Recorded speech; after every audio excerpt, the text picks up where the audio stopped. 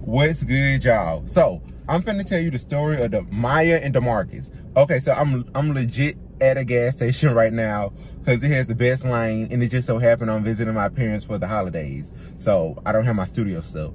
So I make I make making do. But let me get to the story. The story of Maya and Demarkus. So basically Maya and Demarkus met in high school. So this is Maya. This is Demarkus. They met in high school um they fell in love instantly. One because maya's dad just died and she basically was looking for you know a male love a, a type of love. And demarkus you know he never really had love from his folks either. So they basically you know just joined together to say we're gonna love each other. So they you know they go everything going good Maya is like a cheerleader. Demarkus is the football player. Everyone knows the Maya and Marcus. They're always at the school holding hands, being, being, you know, popular, being cool. I was the center of attention. Everybody liked them. Liked them so much that they was about to win homecoming king and queen. So tell me why. The day before homecoming, Demarcus never told Maya he was in a game because he had the best clothes. You know, these boys be having the best clothes or whatever. But DeMarkus never told her how he was getting these clothes. So, like I said, he does not have a good relationship with his folks. So everything DeMarkus gets is out the mud. And like legit, he, he get it on his own. So one, one lick went wrong. He knew it was homecoming. So he needed a nice suit. The suit was $300, the suit that he was trying to get. He never told Maya he didn't, he, you know, the way he got his money.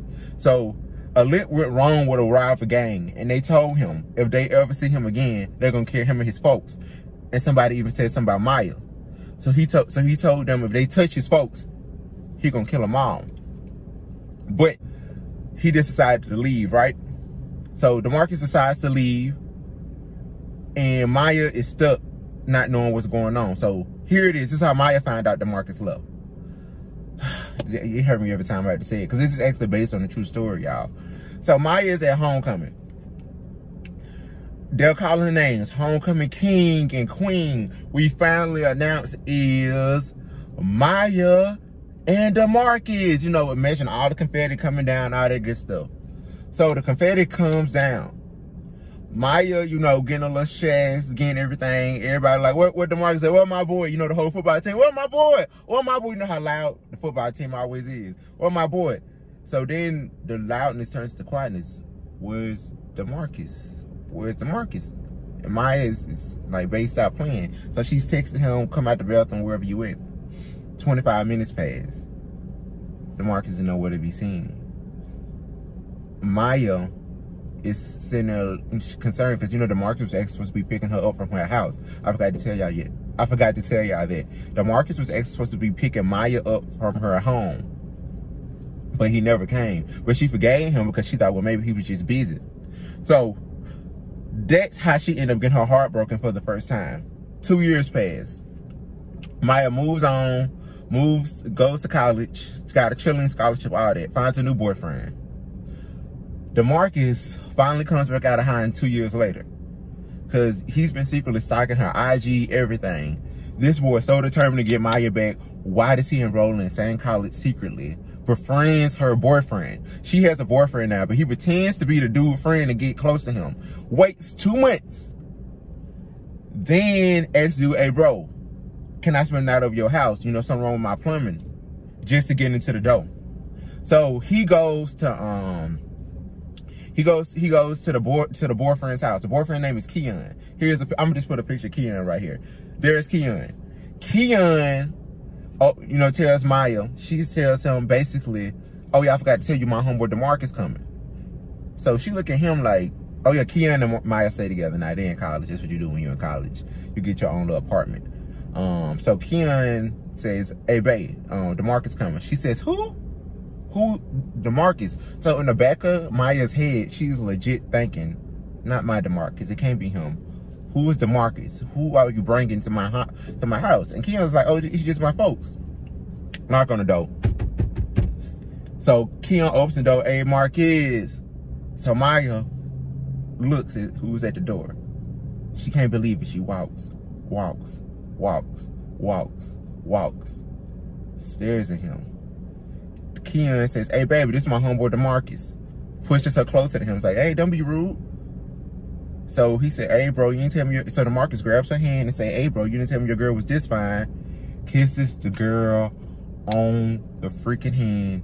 She's frozen for a moment, pulls her hand away. That's the first time I've seen DeMarkus in two years. She slick wants to go out, but she can't. Because why? Keon is right there. She does not want Keon to know about DeMarkus. She never told Keon about DeMarkus. She wanted to forget about DeMarkus. Because sometimes we cope with things in different ways. Sometimes some people just want to forget. It's easier for them to, for, to forget than go to counseling, confront the person. And she couldn't confront DeMarkus because he disappeared. Like legit, no cell phones, no nothing, no social medias. Everything was just gone. So Keon says, hey bro, I'm gonna go pick up our, our bro. Come with me. DeMarkus said, hey bro, I need to take a shower first. He said, Keon like, hey bro, I don't got time for that. You just take your shower. Um, I'll be back. So now DeMarkus and DeMarkus and Maya are at the house alone. Worst mistake Keon made, because Keon does not know what's going on. DeMarkus purposely goes to the bathroom, passes by the towels. I wonder why he passed by the towels. Then get then grab one. He gets out the shower and yeah, look, pretends to look and yell, hey, you got a towel? So he's naked. Maya kind of, she knows DeMarkus. She was with him for two years. She knows his games. So her mind is telling her no, but her heart is telling her, just go, just go. Maybe if you see him this one last time, you'll, you'll get over him. So her heart is being thump, thump, thump, thump, thump, thump, thump. She ends up going to get him the towel. Whew, y'all, I'm getting nervous too. So she ends up going to go get DeMarkus a towel. Then she sees him naked with nothing on. She sits there and stares. So now DeMarkus knows he has her right where he wants her. He goes and he goes into the living room where she's at, talks nice to her, works his way under the covers with her, and then asks her, does he does he know? She looks at him and say, does he know? She said, no, I never told him about you. So he doesn't know I was your first. Then she looks at him and finally says, DeMarkus, leave in the past. She looks at him and says, leave the past in the past. And then he, and then he, you know, he real smooth. DeMarkus put his hand around and say, you know, I miss nights like this. And she says, nights like what? Nights like this. He grabs her face, kisses her. Next thing she hears is, he's rattling. Kim back at the door. So she runs, then she sits in the room, thinks about it, like, I can't go back to Marcus. He hurt me. I'm not gonna go back to this. He's not gonna ruin my new life. She opens the door. Boom, this man just the door, opens it. Babe, I got something to tell you. Keon, you know, he with the boys. I don't got time for this. What's up, what's up, what's up? She was like, listen, baby, I got something to tell you. Baby, can this please wait? I'm with the boys. So she was like, you know what? Never mind. And goes back in her room, slams the door and that's the end of episode one. Because episode one is actually based off a true story.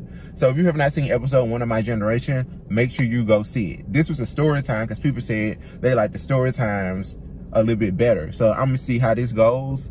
But make sure make sure you support the show y'all. Appreciate all the love